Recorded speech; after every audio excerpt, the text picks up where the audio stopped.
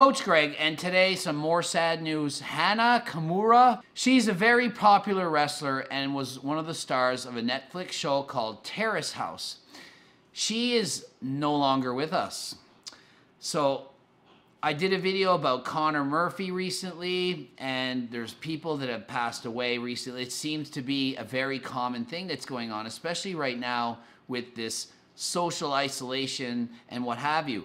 In this case, it seems to be that cyberbullying is the main culprit, the main thing that led to this situation. Now, I'm speculating and assuming that she took this into her own hands. I don't have 100% verification. It's not something that's 100% out there. And so we don't know, but it's most likely the case. She posts a lot on Twitter and she sent this out yesterday, which led to so many people being extremely concerned. And of course, they should be. So I'm going to read what she posted. Nearly 100 frank opinions every day. I couldn't deny that I was hurt. I'm dead. Thank you for giving me a mother. It was a life I wanted to be loved. Thank you to everyone who supported me. I love it. I'm weak. I'm sorry. I don't want to be a human anymore. It was a life I wanted to be loved. Thank you, everyone. I love you. Bye. She posted that yesterday and she's no longer with us today. So you can speculate as to what you think of that. But think about this 100 messages a day that were negative, and she would constantly read these, and it led to that amount of sadness in her life. No one is immune to this. Nobody. Just because you're rich, famous, extremely good looking, it doesn't matter. It really doesn't matter. It can happen to anyone and everyone. So you never know what you say to one person. You never know what that exact comment might impact on that person. It's a scary thought. Just think of how many things I say. Most of the time, it's positive in people's lives. Most of the time, but obviously, some of the things I say to some people are going to be negative. I hope that you're strong enough to be able to handle criticism, to be able to handle not everything always being your way. You don't think that I get a hundred negative messages or comments a day? Way more than a hundred.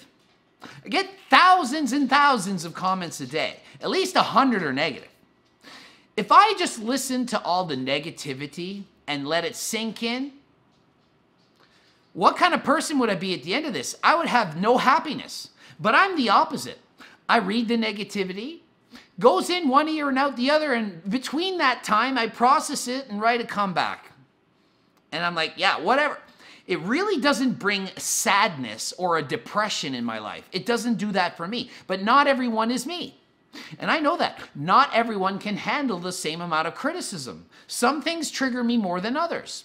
Some things trigger other people more than others. If it's happening to you, and trust me, I talk to people, I have friends that are dealing with severe issues.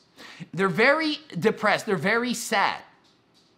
They don't know what to do. You need to go see professional help. Yes, it's good. You can talk it out with your friends. That can help. Counselors are trained professionals at knowing what to say, when, and why, and how to deliver the message. I've studied these things. Yes, I know what to do for me. I have a hold on this. I know how to cope with these things. Not everyone does. I am the first person that will raise my hand and say, I need help. I am struggling right now. I can't do it. I need to have somebody help me because I am going to lose my mind. I get help. Other people are scared to ask for help. I don't know if they think it's a sign of weakness or that they were trained, oh, I'm a guy, I shouldn't say this, or oh, I'm a girl, no, just drink wine. But people don't seem to understand. They don't get it. They don't know that you should go and seek help. I don't understand why exactly we are so afraid, afraid to put ourselves out there, afraid to be criticized. So many people, do you know how I can't even I can't even explain the amount of messages I get from people, often young people, who are so scared of what other people will say or think. They're so scared to say it They'll ask me a question and say, whatever you do, don't name my name on a, on a video that I asked this question. No matter what you do, don't let anyone know that I asked you this. And I'm reading the question, I'm like, what's wrong with the question? It's a normal question. They're scared that it'll come out that they didn't know something. They might ask a question about a calorie deficit. How many calories do I need to eat to lose weight? Don't let anyone know that I asked you this question. I'm embarrassed if they knew that I. You're, you're embarrassed? You're scared of what people will think? If I live my entire life afraid of what people will think of me, what kind of life am I going to live? If I live my if I live my entire life where I was afraid of what everyone would think of my opinion, would I have a YouTube channel? My opinion is my opinion is for me and me only. You can listen to it, but it's my opinion. You can comment back. I don't like your opinion. I don't like what you say. I don't like how you look. I don't like how you think. I don't like how you do life. So, it's my opinion on what I want to do.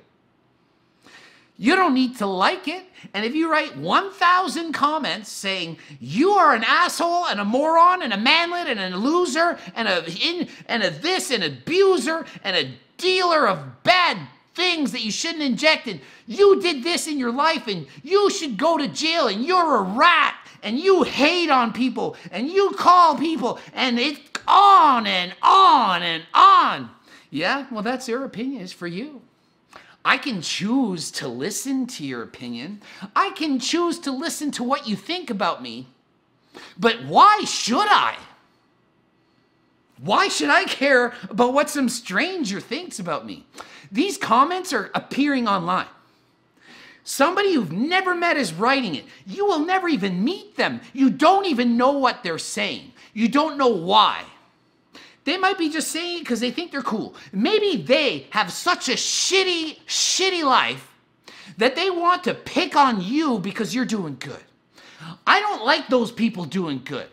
I'm going to hate on them so that they come down to my level because they're up on a pedestal and I'm down here and I don't want to work to be better. So I'm going to just constantly insult those good people, those hardworking people, those people that work 100 hours a week, those people that studied, those people that have a good body, that trained harder than freaking last time to get where they, they put the fork down. Oh, it's HRT. That's why it's freaking injected tren and GH since you were 10, and you just see your abs, and it's the holes, and obviously you're this and that, and it's eh. That's their opinion. They may or may not even actually think that. They might be just saying that to get to you. Because guess what? They're bullies. How many of us were not bullied as kids? All of us had bullies. We were all bullied. We all were bullied. Every single human being has been bullied by people at one point or another. Even me, even everybody. Do you think being five foot six inches tall and talking like I do, you don't get bullied at some point? You don't think being your own person and saying your own opinion and leaving it out there doesn't lead to you to be judged? Do I look like somebody that won't tell you what I think?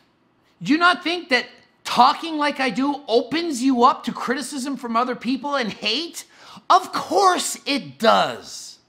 But you can't let that control your life. You have to do you. You be you and do what you want and stop caring about what other people think. You can't care about what people think. What you think is most important. Sure, you can have friends, certain people, loved ones that you value their opinions, and then when they say something about you, you listen, you take it in, analyze what they said, and decide what you want to do with it. And even if it's a loved one, if they say something, you think about it, okay, I hear that suggestion. I don't like it though. In that ear, processed, and out the other ear, and I'm moving on. Doesn't mean you just don't listen to it. Listen to it, process it, let it out. Listen to it, it's good. Process, good. Feel better about yourself. Positivity, yes, I'm a good person. I like this. Keep it in. Don't get out the other. Leave that in. Absorb it. You say, well, there's so many bad things in my life. I just, I think about it all the time. This is what I do. Leave yourself 15 minutes, 30 minutes, 10 minutes, whatever. Give yourself a time. Let yourself think about those things. Because if you don't, you're just going to have to think about it all day anyway. You're already thinking about it every day. Think about it for 15 minutes. From 8 o'clock to 8.15, I'm going to analyze the shit that's going on in my life. Those 15 minutes are up, it's out, done. No more. Let's think good. What do I do that I can get over the shit things that I have to think about? I can race my freaking bike on Zwift. Do you think I can process shit when I'm racing up a hill trying to keep up with the guy in front of me? Trying to race as hard as. No, I'm concentrating on the pain that's in my legs, the breathing, and how much torture I'm putting. I'm not thinking about mental stress. It's gone. And when the freaking race is over, like last night when I was having a freaking hard day, a hard freaking week. You don't think I have hard times? You don't think I deal with stress? Are you kidding me? A lot of freaking stress is in here. But I can deal with it. I can cope with it because I have those skills. I can do it. So I'm racing a 50 kilometer bike race and I'm going hard. And at the end of the race, not only did I burn 1100 calories and had the sense of accomplishment that I did that, I pushed myself through the pain and I accomplished that. I feel good. There are endorphins being released in my body that make me feel good about myself. And then for the rest of the night, I'm happy. Happy, Greg. Happy. Not stressed out like I was all freaking day. Does that work for you? Maybe it's not a bike race on Zwift. Maybe you like lifting weights. And yeah, some of the gyms are closed, but they're opening up soon. You can always train at home. There's things you can do. You can do push ups, sit up, whatever. You can go for a walk. You can go for a run. You can hike in the woods. There's a lot of things you can do to relieve stress. Make yourself exercise. Get into the habit of exercising. It will release endorphins. It'll help you lose weight. It'll make you feel better body image, more positivity. That will keep you going to the next day. Then the next day, yeah, it's another stressful day. But guess what? You get to exercise again and you get to burn off that stress and you make it to the next day. The next day and then the next day and then the next day. Before you know it, it's 10 years later and you're an exercise fitness fanatic you can cope with stress and you love it. You now love it. You now feel about fitness the way that I do. And it helps you in all aspects of life. You can push through the pain during a bike race or gym session. You can push through the pain when you're working and you don't want to. You can motivate yourself to do that. So don't take your life into your own hands. Get a counselor, get someone with professional training to help you. Find what will work for you. Exercise, release the stress, get rid of it. Don't dwell on the negativity, the negative comments. Everyone's getting fitness celebrities. The video on Lauren Simpson that I posted this morning, she had thousands of negative comments. Do you want that to lead into the same type of freaking situation? You don't listen to the crap. Be proud of yourself. Be the best you can be. GregDoucette.com for coaching. Greg Doucette, IFBB Pro. Watch one of my other videos. I don't just talk about how to get jacked or how to get shredded. I talk about every single concept or thought you could ever think about. It's a channel for everyone. Positivity. We're going to get better. And until next time, I am out.